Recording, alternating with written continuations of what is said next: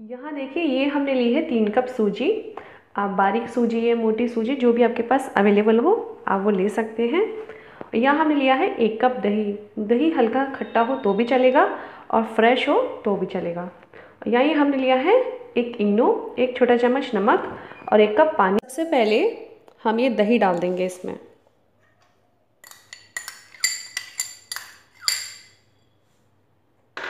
नमक भी डाल देते हैं। मिक्स करेंगे इसे। ये देखिए, हमने मिक्स कर लिया है। ध्यान रखिएगा, सूजी इस तरह से हो जानी चाहिए। यदि सूजी थोड़ी सी ड्राई रहती है तो आप इसमें एक चम्मच या दो चम्मच दही और डाल सकते हैं, पर ये सूजी इस तरह से दही में हो जानी चाहिए।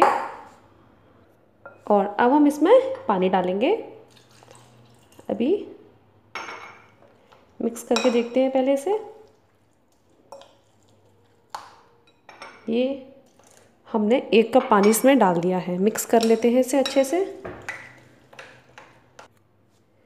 ये देखिए मिक्स कर लिया हमने इसे। इस तरह से, इस तरह से होना चाहिए। और अब हम इसे 10 मिनट के लिए ढक देंगे ताकि हमारी सूजी अच्छे से फूल जाएगी। यहाँ देखिए, हमने इडली स्टैंड लिया है। और अब हम इसमें एक गिलास पानी डाल देंगे।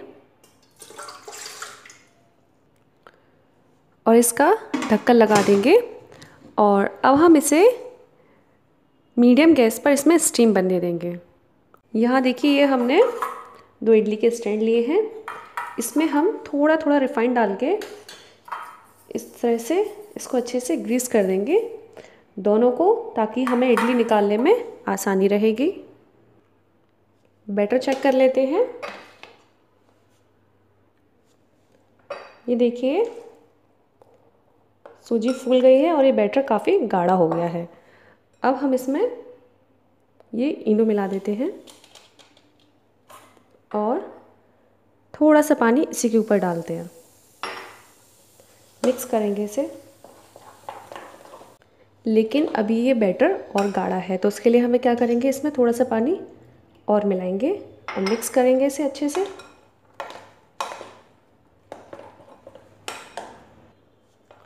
ये देखिए, हमारा बैटर तैयार है। इस तरह से इसकी कंसिस्टेंसी होनी चाहिए। ये देखिए, यहाँ हमें वन थर्ड कप पानी लगा है। और फटाफट से ये बैटर को यहाँ डाल देते हैं इसमें स्टैंड में।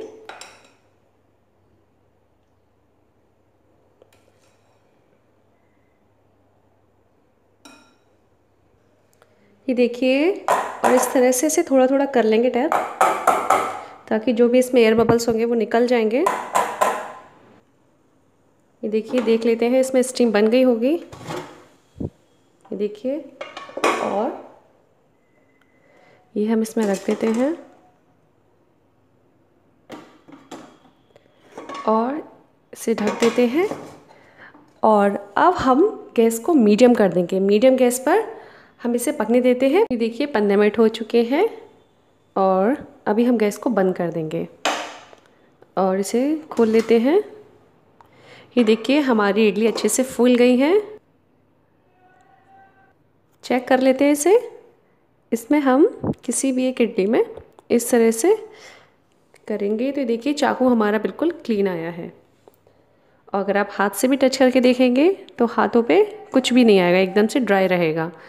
और यदि ऐसा होता है कि चाकू पे भी अगर लगा हुआ आता है तो फिर आप इसे ढक के पाँच मिनट और स्टीम कीजिए। और अब हम इसे सर्व करेंगे।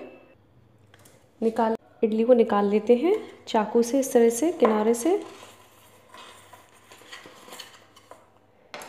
ये देखिए, हमारी इडली बनकर तैयार है। ये देखिए, इधर से एकदम से जालीदार है। इस तरह से इडली का बनना यानी कि इडली आपकी परफेक्टली बनी है। ये देखिए, कितनी स्पॉन्ज है ये। अच्छे से फूल गई है।